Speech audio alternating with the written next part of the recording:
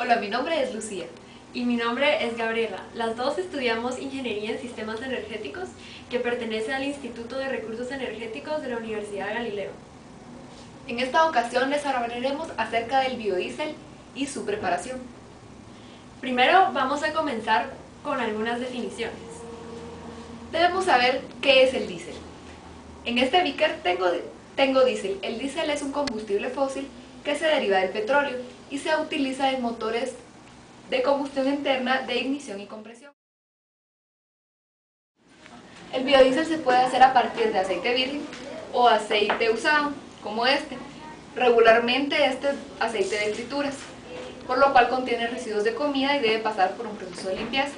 La primera parte del proceso es el filtrado. En esta ocasión utilizamos un sistema en vacío. Posteriormente se coloca en una centrifugadora para separar las partículas que se encuentran en suspensión. Y finalmente esto pasa por un lavado con agua destilada. Para finalizar se coloca a una temperatura de 100 grados Celsius durante una hora. Previo a la reacción de transesterificación, es necesario realizar una valoración del aceite para conocer su acidez mediante una titulación ácido-base. Para ello utilizamos una solución de hidróxido de sodio al 1%. Luego se prepara la muestra a medir de la siguiente manera. Se vierte a un beaker 10 mililitros de alcohol isopropílico.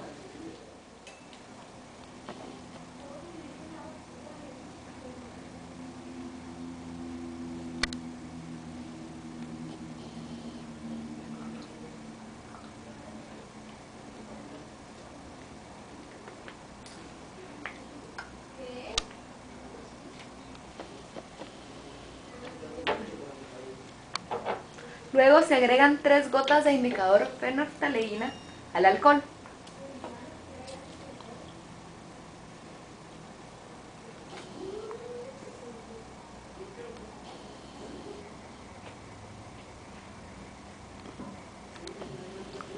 Y se agita.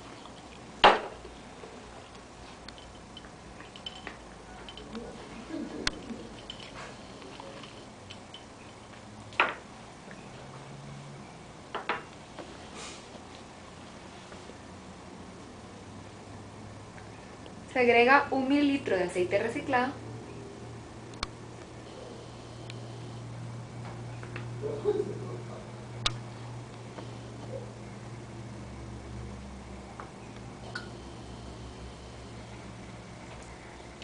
y posteriormente se agita para disolverlo en el alcohol.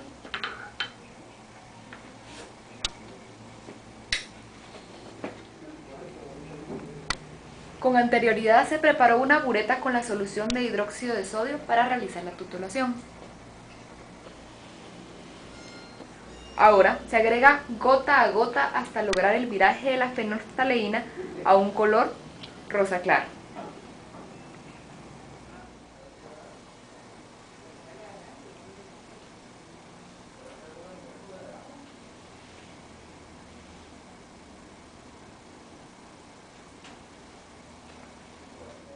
El volumen de la solución de hidróxido de sodio en mililitros consumido para lograr la neutralización del aceite es equivalente al peso adicional del hidróxido de sodio para realizar la reacción de transesterificación. Se agregarán entonces 3.5 gramos de hidróxido de sodio por cada litro de aceite para realizar la reacción, más el peso requerido, estimulando mediante la titulación para neutralizar el aceite. Posteriormente, se tomará el pH de la muestra de aceite. Este debe ser un pH neutro, por lo que debe estar en un rango de 7.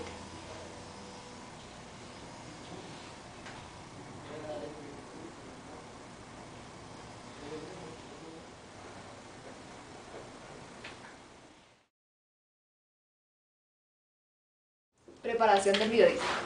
Primero se pesará una cantidad de hidróxido de sodio.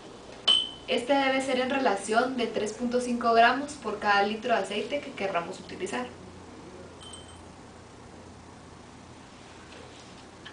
Luego, el hidróxido se hace reaccionar con el metanol.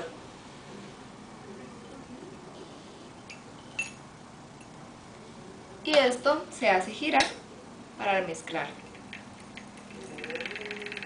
Ahora lo que haremos es colocar en un Erlenmeyer 100 mililitros de aceite.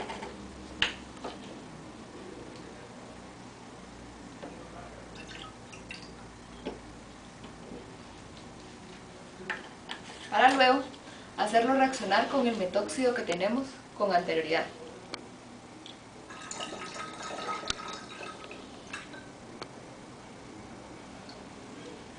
El volumen se completa con otros 400 mililitros de aceite.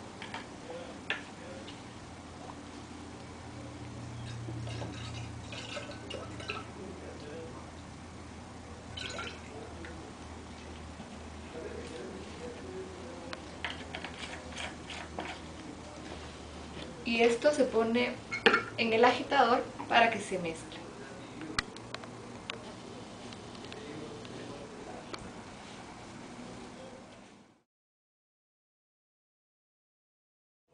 Luego que se termine de llevar a cabo la reacción, se deja reposar hasta que esto se separe en dos fases, como podemos observar aquí.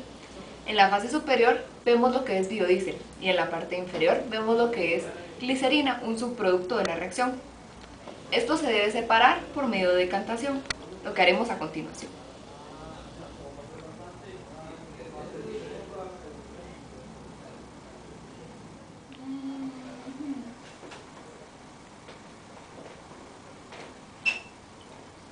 Ahora podemos ver que el biodiesel está completamente puro y ese es nuestro producto final.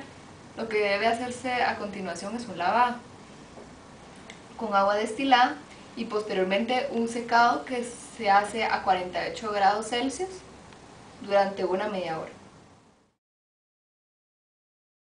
Algunas de las ventajas que nos brinda la utilización del biodiesel son las siguientes. Reduce las emisiones de monóxido de carbono y de hidrocarburos volátiles.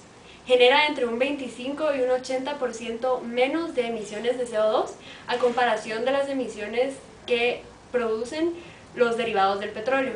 Brinda una mayor lubricación a los motores diésel y por último es una alternativa verde.